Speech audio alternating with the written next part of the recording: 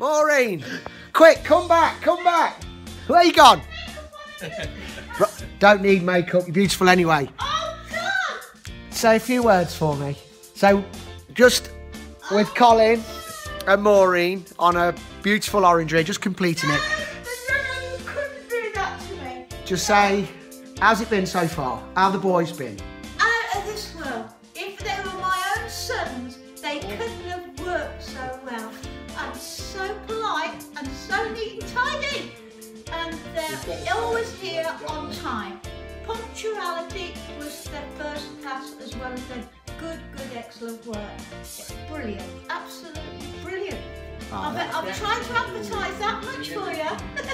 it's you've Amazing. Got. People, if you want a, cons- a Uh, you've got to go with our James and his company. It's brilliant.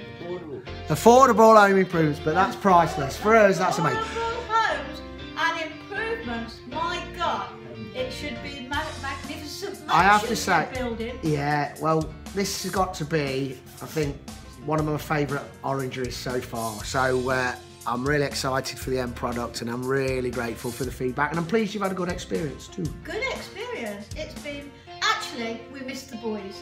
When they don't come, there's something missing in the day. You, you spoiled Tom. You They're, they're so good fun. yeah, they're good And, uh, lads. Yeah, and they do get on so well together.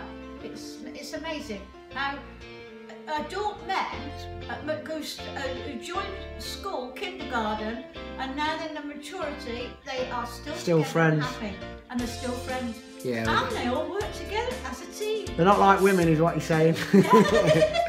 no, that'll do, and I'm very grateful for the feedback. And you happy, Colin? Uh, yeah, very good. Very good. I tell you what, Very happy. Very happy. Yeah. I'll let you go. I don't need you on Carry here. on. Yeah.